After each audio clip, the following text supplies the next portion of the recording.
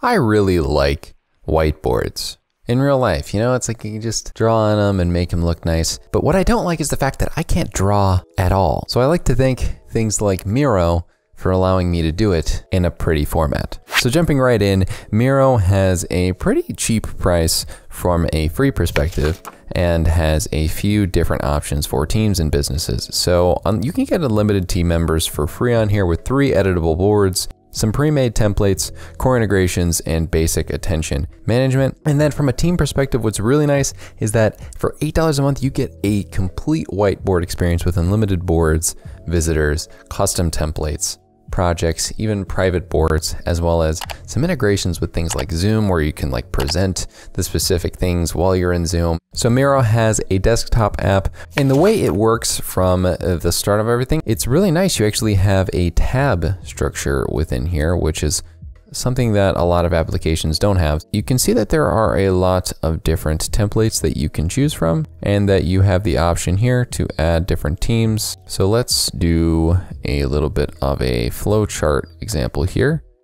So let's create a shared board. And wow, there is a lot going on when I first go into this board. You can see that left clicking selects things and right clicking you can move around and do a panning situation and then you can zoom in and out from going right here on the bottom right. And you can make it fit to screen, pin map situation, where you can select where it is on the screen that you're going, having it be full screen or not. I like having the, the leave full screen situation. If we hover over any of these, what's cool is that there are some keyboard shortcuts. So if I type T right here, it allows me to switch to text mode really quickly. Then there are things like sticky notes. So if I press N, I can drop a little sticky note on this whiteboard. And then this is an example sticky note.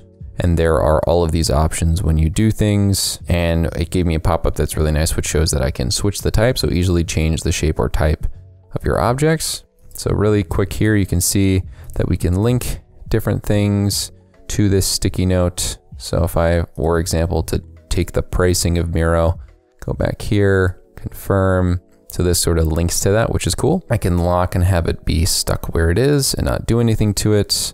Then I can quickly hold a long press and it unlocks it. I can export this to a CSV, duplicate, copy it, move it up and down, check the info here as to when it was created, edit the link afterwards, just copy the style, or even save it as a template or create a frame. And then you can do all the different things like change your font size, change the different shapes here. So I can change it from that sticky note to a rounded circle or whatnot or quote, change the alignment, insert a link, change the text color, all these different nice things here, which is really just great from a visualization perspective. I think if you have all these options, we really do enjoy it. And then just to showcase something else, obviously I've shown you just sort of like how to edit shapes and sticky notes.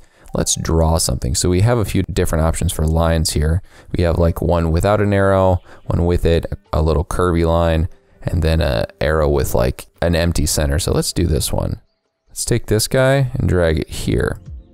So that kind of makes it do a right angle, but if I want to change this, I can change the different types of arrows that would be there from an aesthetic standpoint, or I can change it from being that sort of right angle situation to a direct line or a curve or a dotted line here. There's a lot of different visualization options color wise. I can insert a shape into it in the middle of it to break it up press Control Z to undo that last part. Then if we click on this, I can type something along there. So we can see there is so much functionality to this. And then from a more tool standpoint, we have apps within here that are awesome. We can add charts, we can make Kanban board in the middle of this thing. I mean, this thing is just ridiculously useful from a visualization standpoint. I mean, who would have thought you can make boards, edit the entire board settings, and then really quick on the top right, we can go into presentation mode, to just showcase this thing. Exit out of it here. If we want to have different slides, that's an option. We can add notes to the pages, which is really nice. And then from there, there is the ability to do a chat or a video chat here.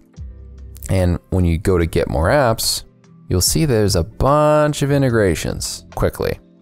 But from a pro perspective, there's voting that you can do with video chat. I just wanted to point that out. And then you can put a timer on this as well for the pro version. And you can share these by going to the top right and copy team invite link or do it so that anyone with link can view it. So you can send these things to anyone for free. So going back to the app situation here, if we go to there, we have actual integrations with a whiteboard application. We have the ability to use it with Google Calendar, Jira, Dropbox, and the locked ones here are not available on the free plan, just to notice. Um, Miro app for Zoom. So bring Miro into any Zoom video meeting and collaborate instantly. So you can collaborate on Zoom. Stay in sync with notifications and embedded boards in Microsoft Teams. That's a great option as well. You can basically have a connection to Slack where it gets Miro comments and mentions and puts it into the Slack channels that you put it. You can embed Miro boards into Notion pages. So let's look at what this Google Calendar one is. Attach and share Miro boards ahead of workspace meetings. So if I were to get this application and do this install for me, I could basically have a whiteboard discussion with Chance on my podcast while we're doing notes beforehand or while we're talking about it. So a lot of these integrations are more from the sense of sharing this, but that's kind of all you need because for example, if I went slash Miro, I could take this here, copy board link, embed it here, click on see board, and I have an entirely embedded situation of that board in Notion. I can zoom out and view this, and this is going to be nice for me if I want to do any sort of visualizations with Rise Productive stuff. I think this is probably the best whiteboard application on the market. I would highly recommend you check it out, but I also would highly recommend that you check out this video to see how you can improve your productivity even more.